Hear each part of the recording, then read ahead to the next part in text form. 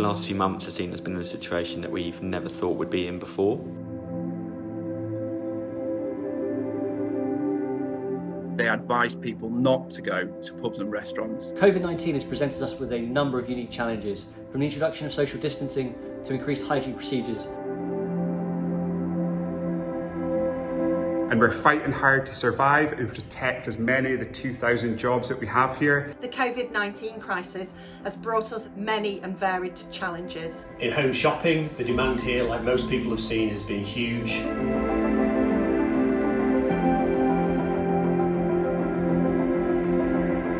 I've been a partner for 21 years, um, and in that time, I cannot begin to tell you how life feels very, very, very different.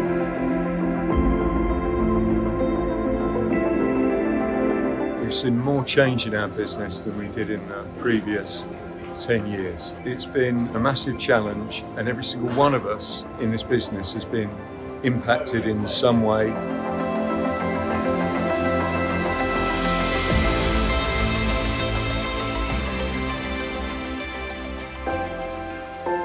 Back in March, at the start of COVID-19, we laid out three clear priorities. It was the safety of our people, was to fulfil our role in feeding the nation, was to survive the crisis and then thrive. So for me, the speed at which lockdown happened and the impact it had almost overnight on our colleagues, our members, the communities we serve was huge. The main impact on me was about reinforcing responsibility towards my team, just making sure that everyone was well. This is the office. As you can see, there's barely any people here. We now have around 1,400 colleagues from the CEC who are now working from home. Well done everybody, what a team. I've been working from home and I thought at times it might feel quite lonely and I might feel quite isolated but there's been so many opportunities to connect with my team and more broadly and having a little bit of company from my four-year-old daughter during some of those difficult days has helped too. I had an email from the school this morning to say that Emily's not submitting as much work as the other children. We are doing our best to keep them doing their schoolwork, but juggling full-time working and homeschooling is just an impossible task. The uh, COVID crisis has provided P&G with the opportunity for our brands and our businesses and our people step up to do our bit to help. Overnight, we realised we had members who wanted to deliver food uh, to people who were shielding. We're helping over a thousand charities support the most vulnerable in our communities across the UK.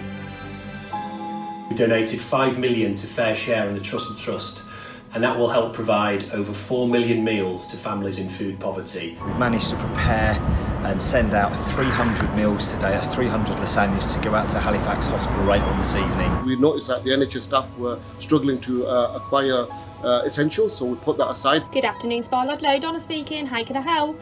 Thank you so much. Thanks, Teresa. Really appreciate the help.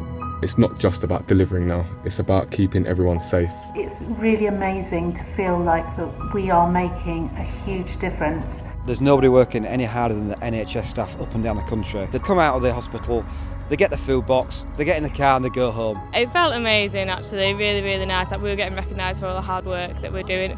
Welcome to the Costco Pop-Up Star. The store offers a range of essentials, for example, milk, bread, eggs, fresh fruit and veg, fresh meat and also cleaning products. We wanted to take a pause and recognise and show our appreciation. Please join us in a round of applause for all NHS and key workers.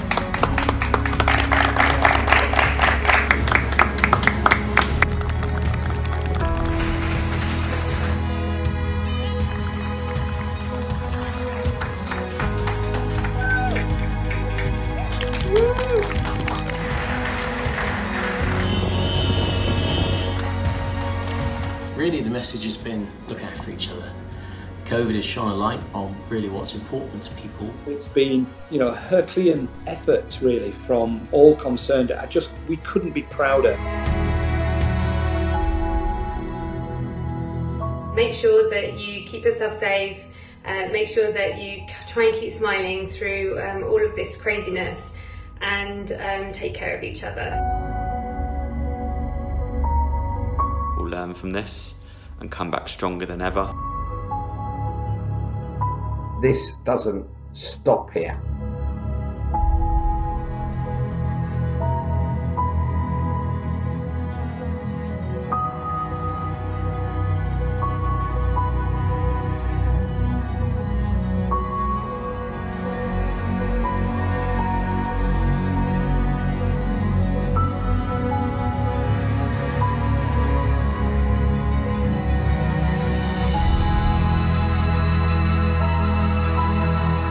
Now, amid COVID 19, everybody in the trade has done a fantastic job in keeping Britain fed. As you've seen from the video, farmers, producers, manufacturers, wholesalers, retailers have all played a part. So thank you for a brilliant, brilliant job. Now, we at GroceryAid have then been supporting colleagues and friends in the trade who've actually needed a helping hand. In fact, we've supported over 17,000 people from the grocery trade and distributed more than £4 million to help keep them going. So on behalf of everybody at GroceryAid, we salute you for keeping the nation fed and on behalf of our 17,000 beneficiaries, we say thank you for the support. Take care everybody, stay safe and thank you.